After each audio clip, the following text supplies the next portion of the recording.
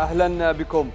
أكد المبعوث الأممي إلى اليمن إسماعيل ولد الشيخ أن هناك اتفاق على خطة تحضيرية لوقف إطلاق النار لمدة لا تقل عن 15 يوما ثم تتحول إلى هدنة مستدامة.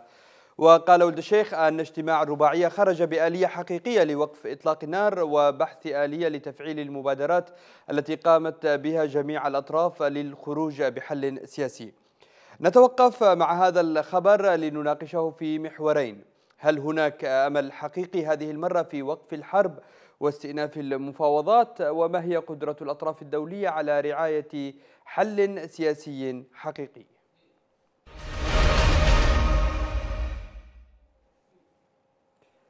تصريحات المبعوث الأممي إلى اليمن إسماعيل ولد الشيخ حول عقد لقاء مرتقب في العاصمة الأردنية عمان للجنة التهدئة والتنسيق من أجل الهدنة المفترضة. كانت لافتة خاصة أنها اقترنت بمؤشرات أخرى مهمة. كان آخرها اجتماع رباعية في الرياض والاتفاق على إجراء جولة جديدة من المفاوضات. فهل التغيرات على الأرض وترتيبات الوضع الإقليمي قد تعطي زخما هذه المرة لجولة مفاوضات جديدة قد تؤدي لوقف الحرب؟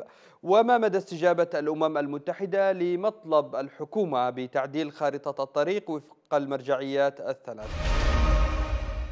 نبدأ بالنقاش موضوع هذه الحلقة مع ضيفنا مستشار وزير الإعلام الدكتور فيصل العواضي. أهلا بك دكتور فيصل.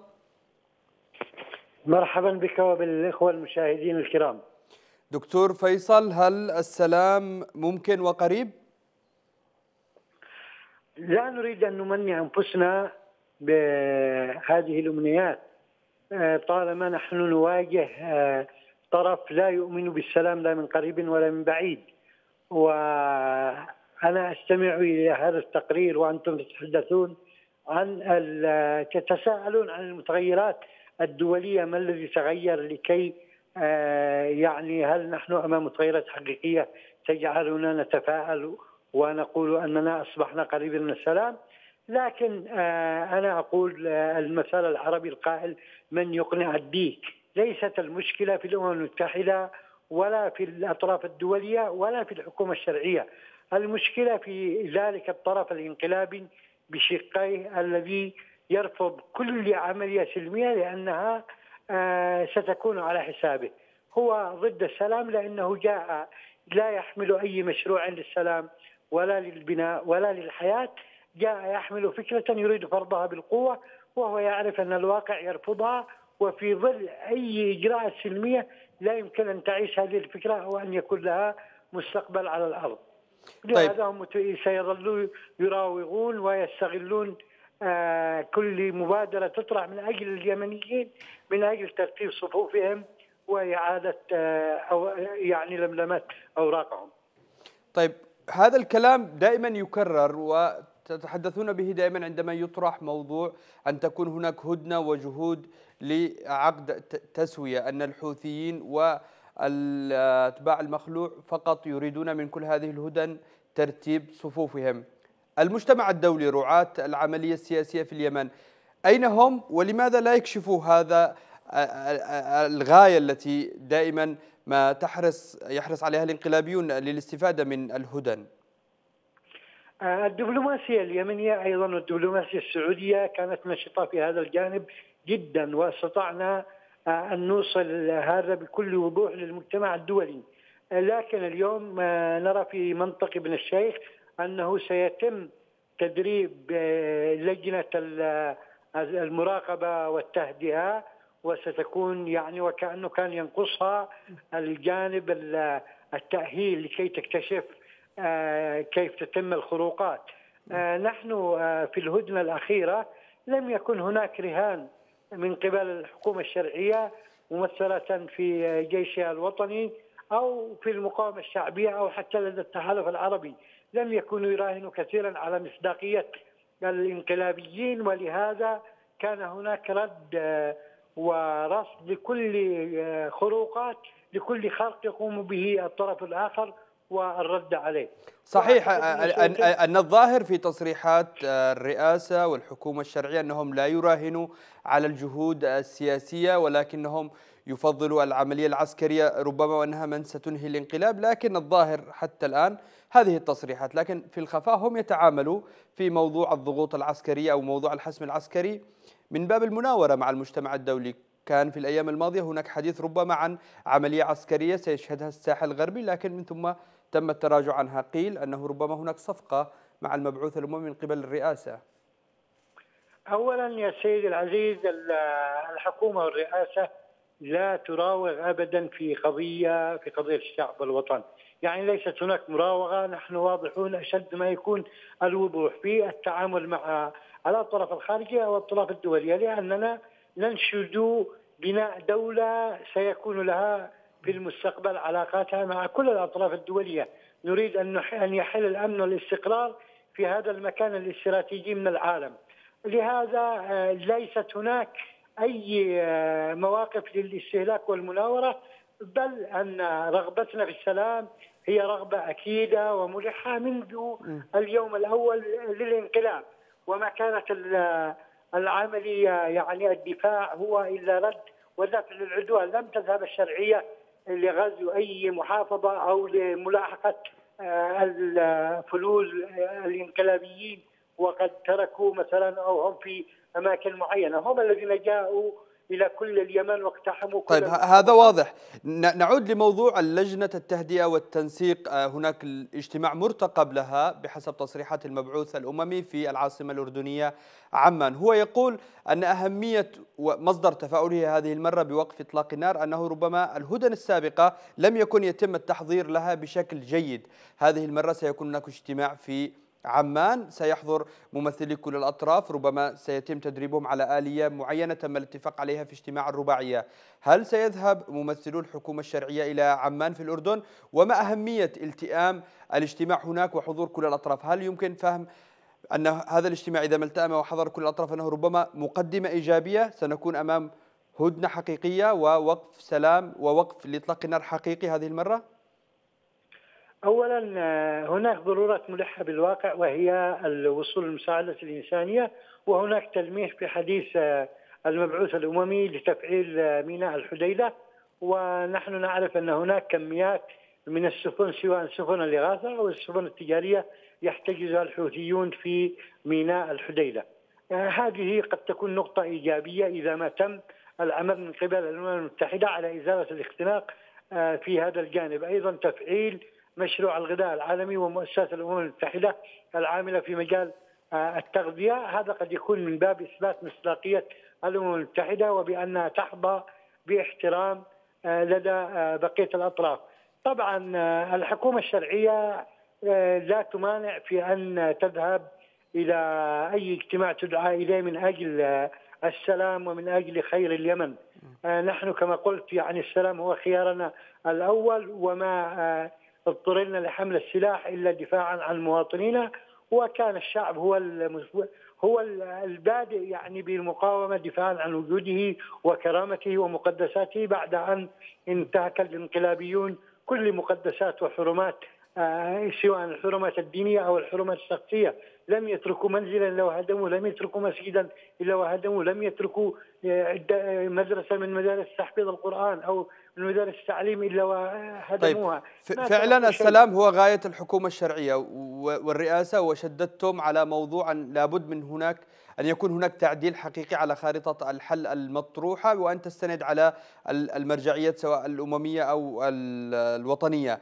إمكانية الاستجابة اليوم لمطلب الحكومة هل يمكن أن يتم تعديل خارطة الحل المطروحة؟ كان هناك آه، يعني في البيان الختامي أو في بيان الخارجية الأمريكية إشارة واضحة جدا إلى أن هناك مرجعيات آه، تقوم عليها خارطة الطريق آه، وهي نفس المرجعيات التي طالبت بها الحكومة والتي كان قد سبق إقرارها حتى من قبل المجتمع الدولي كان الاتفاق والتسليم بها كإطار ومرجعيات للحل النهائي. آه، مع الإشارة بانه الكل طرح بأن خارطه الطريق هي عبارة عن مبادئ للتفاوض يعني والنقاش قد آه، يعني يفضي إلى التعديل في هذه النقطة أو تلك في الخارطة. لكن المرجعيات لا يوجد أي مثلا إشارة لتعديل هذه المرجعيات أو تجاوزها بل الالتزام بها أمر وارد من قبل الكل والخارطة هي عبارة عن مقترحات يعني لإرشاد أو لمعاونة الأطراف في التوصل إلى حل. شكرا جزيلا لك دكتور فيصل العواضي مستشار وزير الإعلام. كنت معنا من الرياض. آه نذهب إلى الأردن وينضم إلينا عبر الهاتف المحلل السياسي عبد الناصر المودع. أهلا بك أستاذ عبد الناصر. أهلا بكم. أستاذ عبد الناصر ما واقعية ومصداقية هذه المساعي الدولية الأخيرة آه، التي تسعى ربما لدفع الأطراف اليمنية لجولة جديدة من المفاوضات. آه، مساء الخير سامي وتحية للمستمعين ومشاهدينكم الكرام. واقعية الطرح يعني يبدو غير واقعي تماما. كما نعرف الظروف غير مهيئة حتى الآن لأي تسوية سلام. ويبدو أنها فقط محاولات من قبل الولايات المتحدة في هذا الوقت لتحقيق اختراق دبلوماسي عجزت عن تحقيقه في الفترة الماضية.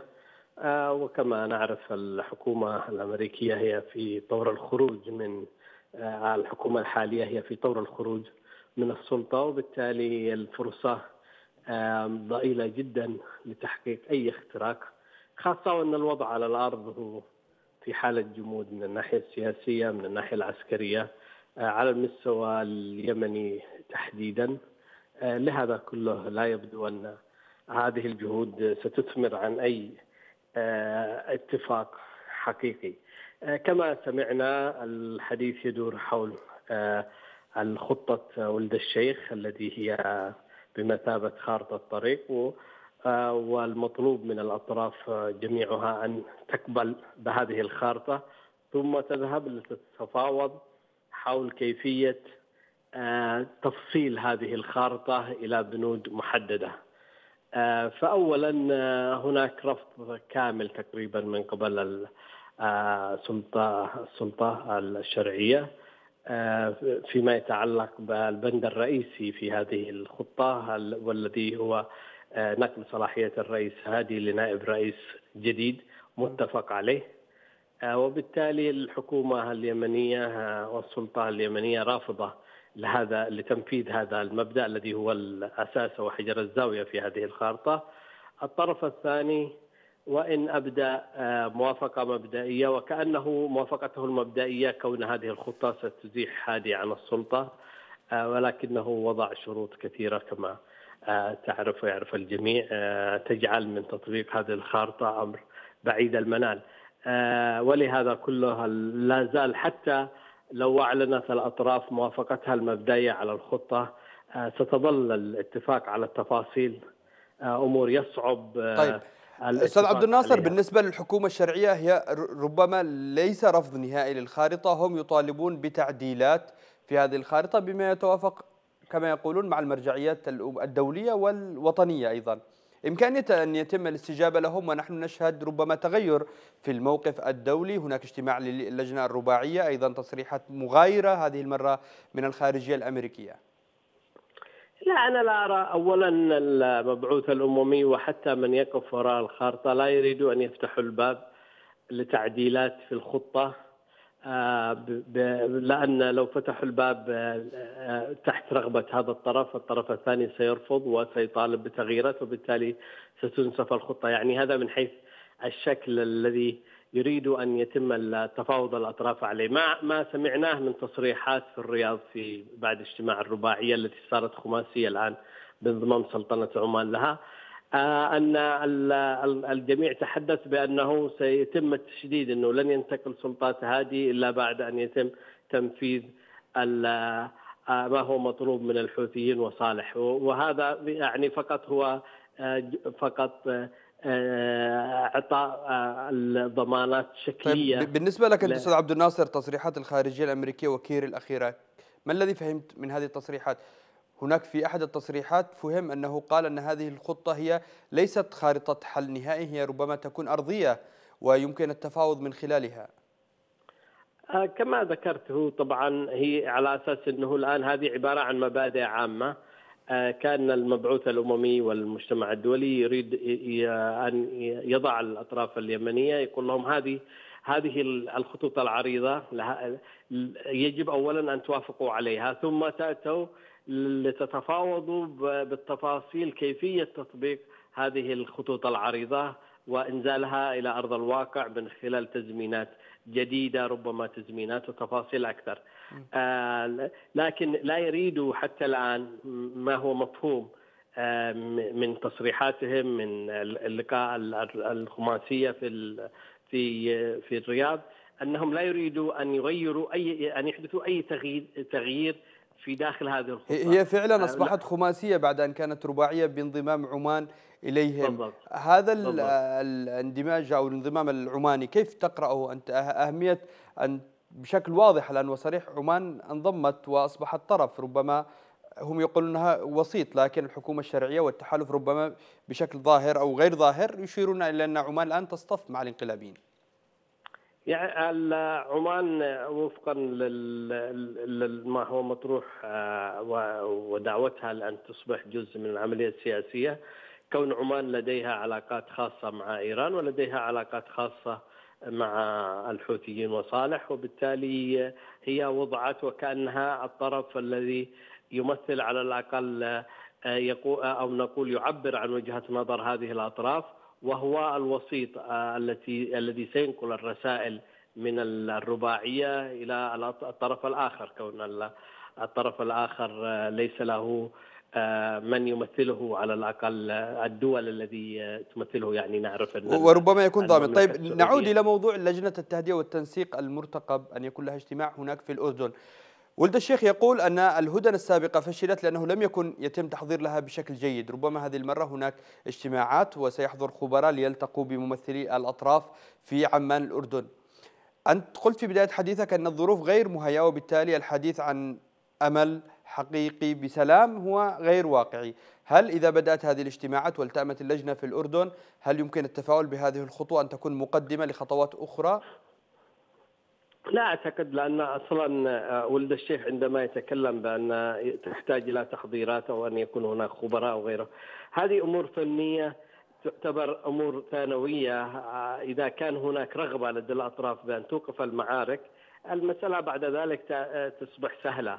عرفنا مثلا في عام 2011 عندما اتفقت جميع الأطراف على وقف النزاع وقف المواجهات وكانوا يتواجهوا داخل شوارع صنعاء تعرفها وأنا اعرف وانت تعرفها وأنا أعرفها والجميع يعرفها آه، تم فتح المعابر بكل سهولة، تم إزالة الحواجز بكل سهولة، لأنه كانت الأطراف قد توصلت إلى آه، قبول بخارطة الطريق التي وضعت وفقا للمبادرة الخليجية.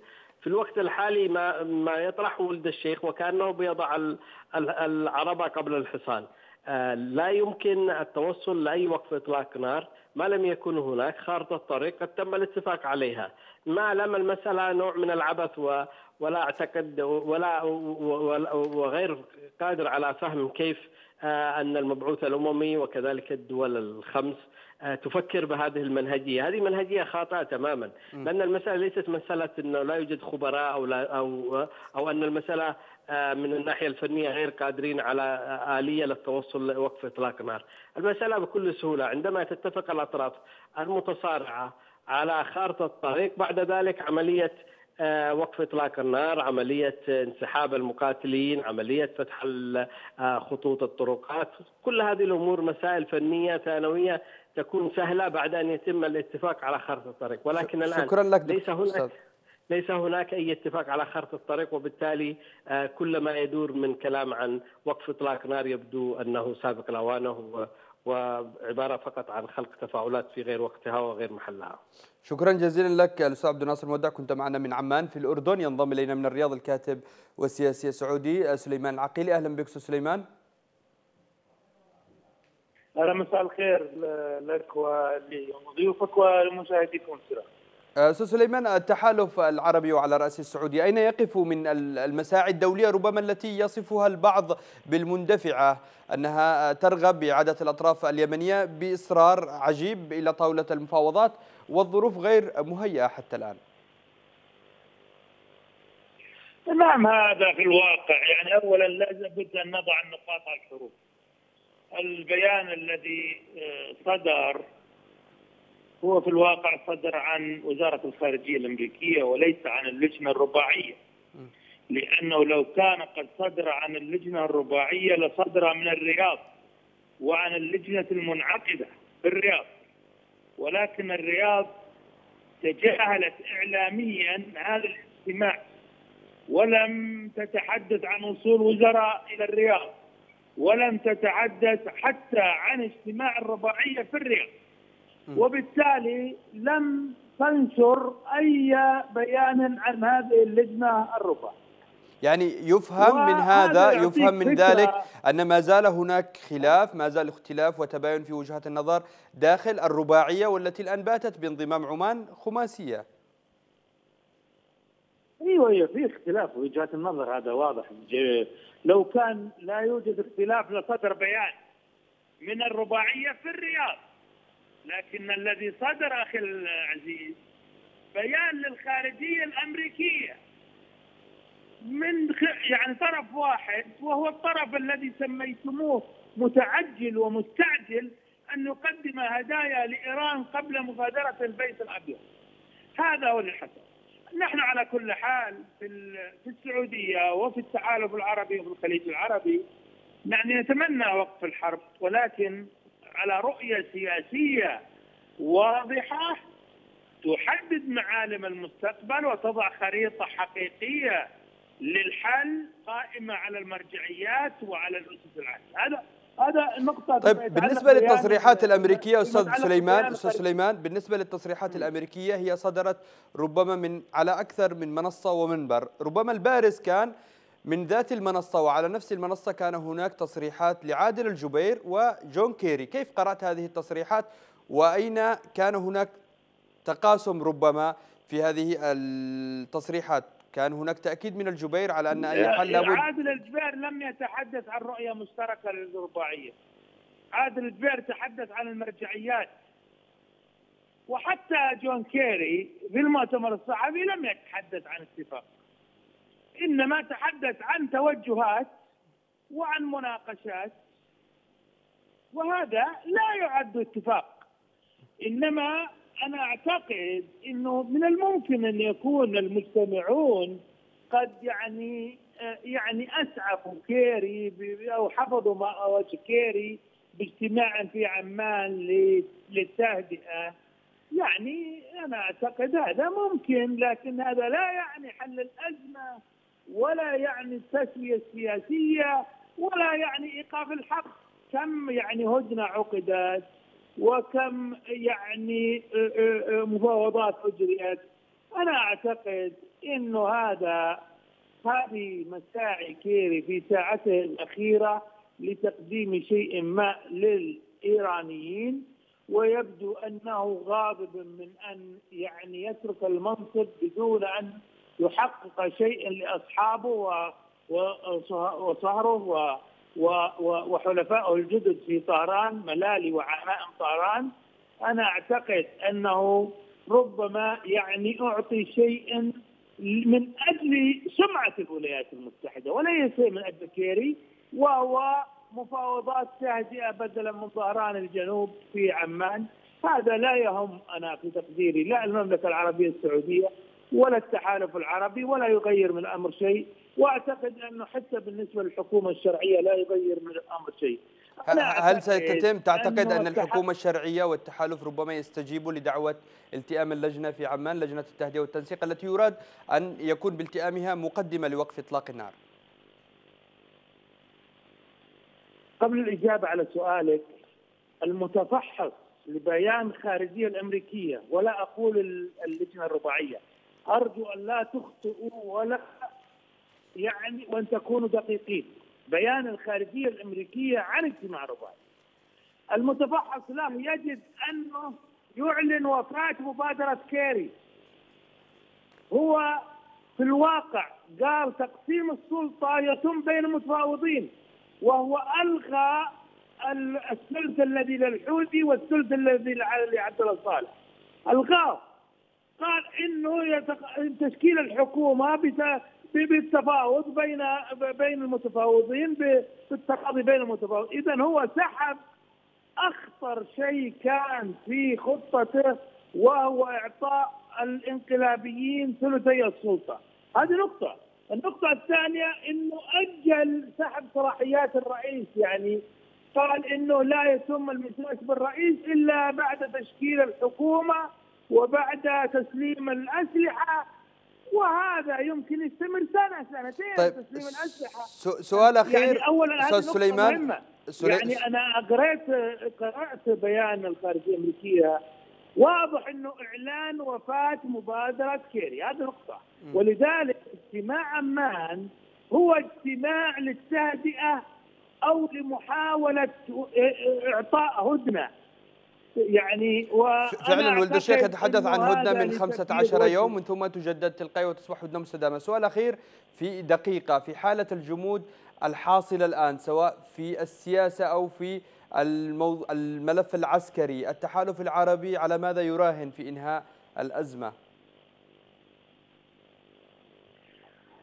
أنا أعتقد أعتقد أعتقد إنه التحالف العربي ربما الرهان على الله سبحانه وتعالى وليس على القوى الكفر لكن ربما ينتظر الإدارة الجديدة الإدارة الجديدة لديها موقف متشدد من إيران وبالتالي ينتظر أن نكون من حلفاء إيران.